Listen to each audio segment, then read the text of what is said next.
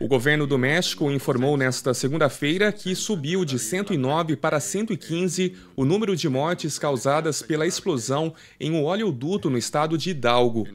Segundo o ministro de Saúde do México, Jorge Alcocer, 30 pessoas ainda continuam internadas, três delas em uma clínica no Texas, nos Estados Unidos. Ele disse que a metade dos pacientes precisa passar por um tratamento intensivo para chegar a uma situação mais estável.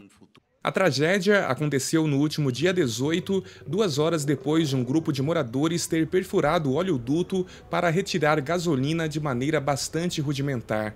Desde que chegou ao poder, o presidente do país, Andrés Manuel Lopes Obrador, tenta combater o roubo de combustível dos oleodutos da empresa estatal, um crime que gera prejuízos milionários à empresa.